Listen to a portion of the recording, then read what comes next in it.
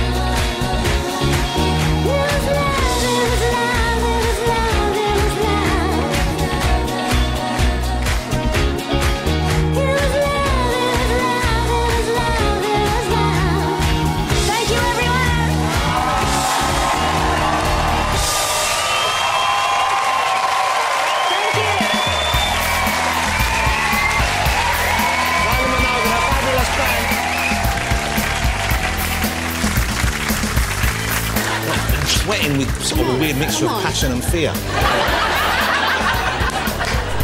That's alarming. Ladies and gentlemen, the fabulous Kylie Minogue.